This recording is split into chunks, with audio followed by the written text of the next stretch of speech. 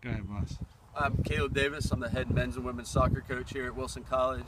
Uh, also the assistant athletic director for facilities. Uh, we just got done doing a demo here of the uh, intelligent paint machine. Uh, very impressed with it. Uh, first thing that I noticed was the how straight the lines were. Uh, kind of blows you away at first. the other thing that I, I liked was the amount of time that it took.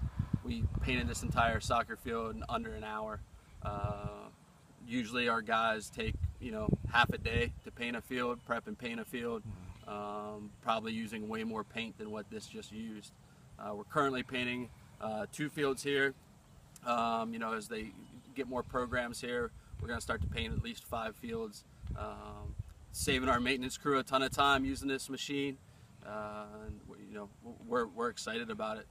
With the time savings, what are some of the other things your crew would be able to focus on that they kind of strain to do now or don't have time to do? Yeah, Wilson's a big campus. We got about 300 acres here that our maintenance crew has to maintain. So, you know, while they're not up here trying to paint the field and, and uh, they're cutting grass they're and cutting, trimming trees and everything exactly, like that. Trimming trees, cutting grass on the main part of campus and, you know, making things look nice okay. elsewhere. Great. All right. Thanks so much. Welcome. Hello, I'm Austin. I paint fields here at Wilson College in Chambersburg, Pennsylvania. We just had a demo of the Intelligent one painting their soccer field and we just think it'd save us a ton of time.